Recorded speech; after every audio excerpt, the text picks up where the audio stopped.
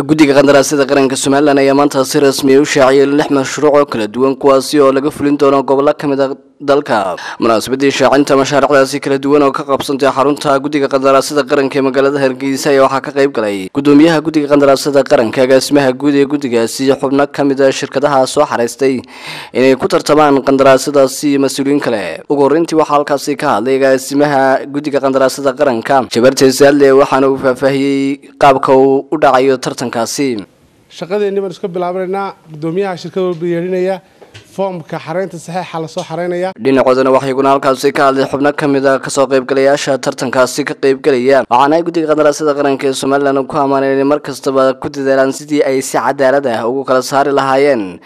Shirkadaha kala duwan ee soo xaraysta mashaariicda ay qabtaan.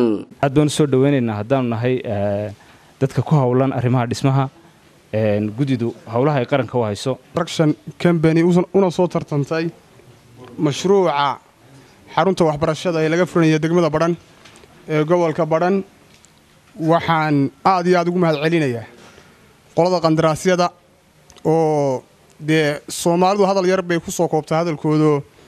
Wardhafoor buu ku yaalaa baa layidhi warku halkaas ku yaalla. Warkaa qoranoo shan iyo intaa ka badan soddonkan shirkadood nimankaa u cadaalad samaynaya oo kala saaraya aad iyo aad baan ugu mahad celinaynaa gabagabadii munaasabadaasina waxaa ka hadlay gudoomiyaha guddiga qandaraasyada qaranka ee somalilan nuux maxamed xuseen.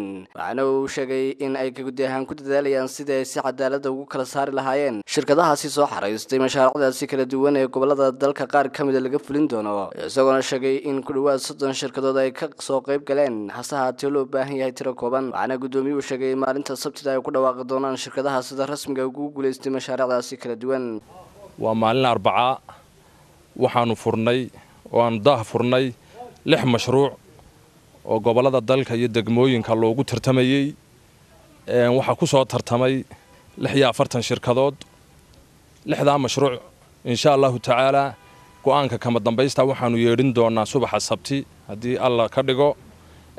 Shirkadaha waxaan kula dardaarmayaa sidii caadada noo ahayd cadaalad inaad naga fishaan. Tartan cadaalad ah oo transbarenty ah ayaanu idiin qaban doonaa. Aad iyo aad baad u mahadsantihiin. Cabdirasaaq axmed cabdikaranto sms t v hargeysa